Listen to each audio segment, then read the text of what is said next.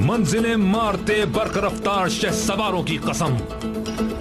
कोसों दौड़ते सुमो से उड़ती चिंगारियों की कसम। अपनी नामूस की खातिर, असलाफ के नाम की खातिर।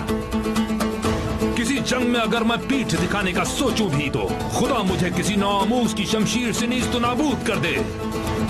मुझे सीना अर्श पर कहीं पना ना मिले।